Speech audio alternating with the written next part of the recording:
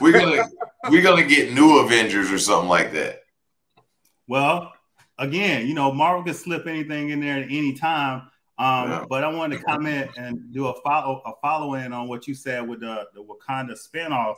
So they're they're playing with an idea where they're going to go ahead and name Black Panther's successor. They're saying that Nakia was pregnant, but Black Panther got her pregnant before, mm. and that son maybe they take over um, Wakanda. But prior to that, they're playing with the ideas of um, Shuri um, becoming Black Panther but then they're gonna have like other people try on the mantle of Black Panther in this Black Panther movie. That's what they saying it's gonna be about. And then in the end, she gonna put on the Black Panther suit. She kind of has to. Right, right. So you can't put, you can't put any dude in that suit. You can't. Yeah. Ever again, you can't. I, I don't what? care what. Oh yeah, I don't care what nobody says. I don't care what, what you talking about. I don't care. There's certain things that you know certain people play certain roles to where only they can play them, right? Like Power!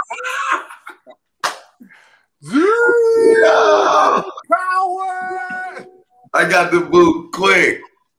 Quick. Oh, I feel support to, to carry the story on. Like, I mean, like I, I understand succession and everything. I, I feel it's important for them to like, you know, put somebody else in the suit and like. But you can't put another man in that role. You can put somebody else in the suit. It just has to be a female or a kid. It can be a young boy. You can do a young boy and then let like like if they put uh Storm and Black Panther together and she was somehow pregnant or whatever like this when they bring her in and their son exists and so he's an heir to the throne or whatever like that and he has her electric powers you know he exists in the comics already check out next avengers um, you know, you get him, yeah, you can do that and then shape him into the next Black Panther because he has different powers.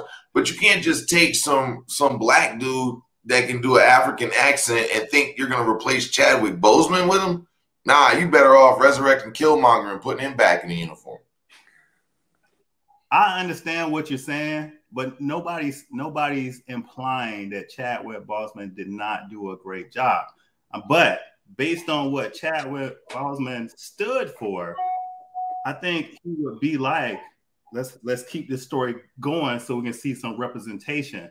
And that last yeah. idea that you posed, that last idea that you posed is perfect. And I think if they go that way with Nakia saying that she was pregnant instead of Storm, that would be a great storyline to, to follow it up and name the next Black Panther. So I think Marvel's trying to go down the, the right road and do it correctly instead of throwing somebody else in there because it is a division amongst the fans right now. What about Blade? Anybody can play Blade. I'll play Blade.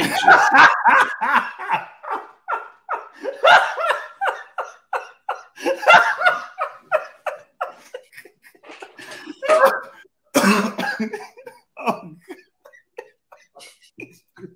Anybody can take Wesley Snipes. You know, I mean, don't overtalk me. Yeah, I mean, don't ah. overtalk me.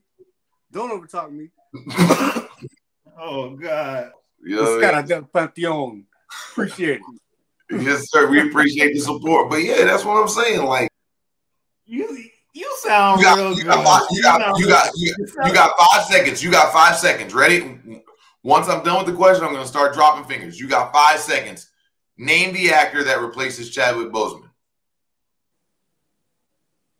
And that's why he should never be recast. I wasn't gonna answer it in the first place. I won't go answer that. We could do a whole video on all the characters that can, that can replace Chadwick Boseman. But what the, the, the problem is, we're saying we're trying to compare performances, and we're not. We're saying keep the story going for representation. If he was, he was the biggest star. I mean, the biggest superhero, black superhero to grace the screen. But I think keep the story going. They got to keep that story going.